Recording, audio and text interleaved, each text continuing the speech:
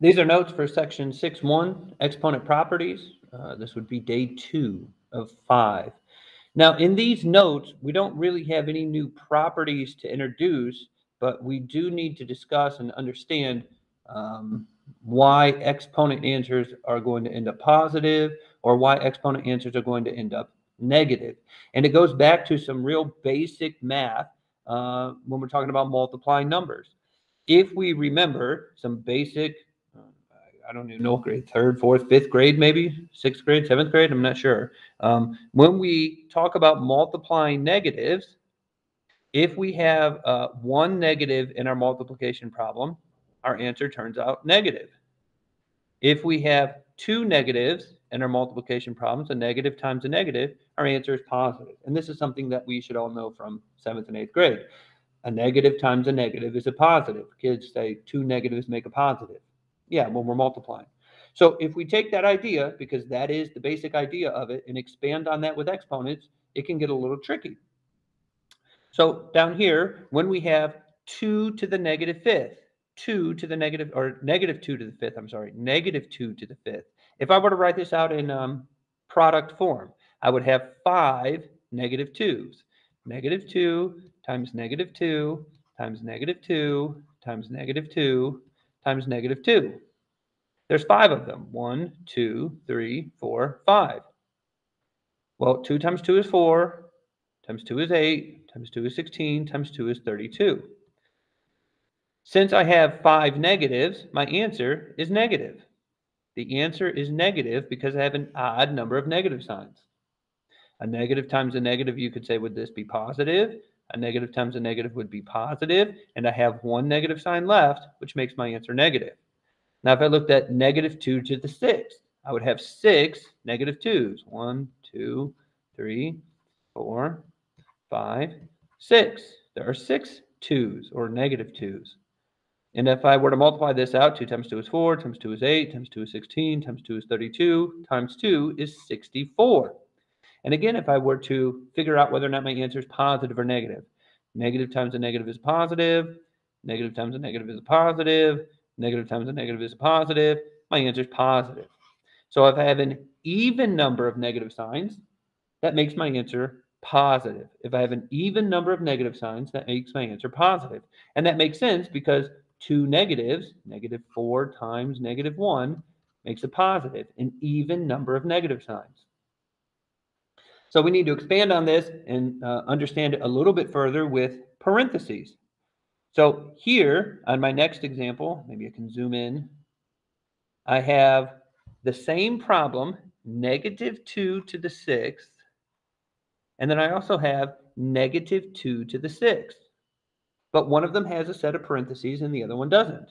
So if I were to write this out in product form, again, I have six negative twos. One, two, three, four, five, six. I have six negative twos.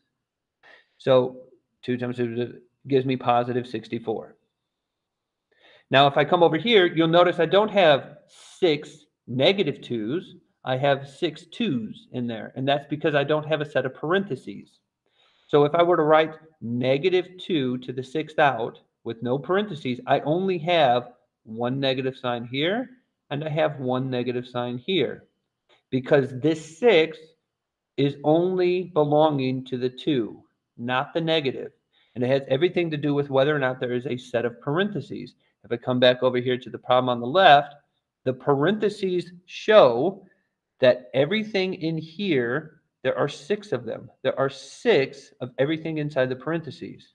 On this one, there are only six twos. The negative does not belong to the exponent because it is not in parentheses. So I only have one negative sign. And since I only have one negative sign, that makes my answer negative. So it all comes down to whether or not we have a set of parentheses. And it's, as it says here, in the first problem, the negative belongs to the exponent. And in the second problem, it does not. So if I come down here and work through a couple of examples, because it does get a little bit uh, tricky to, to figure these things out. What we have to look for is we have a set of parentheses, which means I have five negative x's, which means well, this would be negative x to the fifth. I have a set of parentheses, which means I have three negative x's, which means I have times negative x to the third. Okay, so let's go back to the first uh, day one of exponent properties. When you multiply by the same base, I can add the exponents. Well, clearly this is x to the eighth. 5 plus 3 would give me 8. Now I need to figure out is my answer positive or negative? Well, I have a negative times a negative, which makes my answer positive x to the eighth. On the second example, uh, if there is no exponent, we assume it's a 1. So I have one negative 11 here. I have six negative 11s here. So for sure, my answer is 11 to the 7th. But I have to figure out, is it positive or negative? Well, how many negative signs do I have? I have one negative sign here. I have six negative signs here. That would give me an odd amount of negatives. So my answer is negative 11 to the 7th. And if you're not sure about this, you could simply write them all out. I have negative 11, that's this first one, times six of six more. So negative 11 times negative 11 times negative 11 times negative 11 times negative 11 times negative 11. That's one, two, three, four, five, six, seven. I have seven negative signs. Seven negative signs makes my answer negative. On our next example, uh, I have 7 to the fifth, or negative 7 to the fifth times negative 7 squared. This negative does not belong to the 5. There's not parentheses. This negative does not belong to the 2 because there's no parentheses. So what I have is 7 to the 7th because 5 plus 2 is 7. And now is my answer positive or negative? Well, since I have two negative signs, that makes my answer positive. 7 to the 7th. Positive 7 to the 7th. Again, down here on our fourth example, this negative sign does belong to the exponent because it's in parentheses. So that would be positive 2 to the 6th. This negative does belong to the exponent of 3 because it's in parentheses. So that'd be times negative 2 to the third. 6 plus 3 would give me 9. And I have one negative sign, so my answer is negative. Uh, to expand on the other rule about uh, power to a power, and you'll notice if you take a quick look here, these problems are almost identical, except what's the exponent that it's on the outside. So both of these exponents have a negative attached to it. This negative belongs to the 2 on the outside. So there are two negatives. There are two negatives. If you were to write this out, that would be negative 4 to the third times negative 4 to the third which would give you positive 4 to the sixth. Multiply by the same base, add the exponents. If you were to write this out, that'd be negative 4 squared times negative 4 squared times negative 4 squared. I have three negative 4 squareds. Well, I have three negative signs, which makes my answer negative. And it all has to do with the negative belonging to the exponent on the outside with parentheses. So it's a little bit tricky, but again, I know, I know it gets a little confusing. It comes back to this very basic concept. A negative times a positive is a negative, and two negatives make a positive. It's just with exponents, we have to understand how many negative signs are there, and does the negative belong to the exponent? And it all comes down to whether or not there's a set of parentheses. Let me do a couple more. This negative belongs to the two, which means that there are two of them. If there are two negatives, it's positive. This negative belongs to the exponent of 3, which means there's three of them. So that is negative 4 to the third. That's a times in there, multiply. So when I multiply by the same base, I can add the exponents. Again, this negative belongs to the exponent of 4. There are four negative signs. If I have a power to a power, I can multiply my exponents. 3 times 4 would give me 12.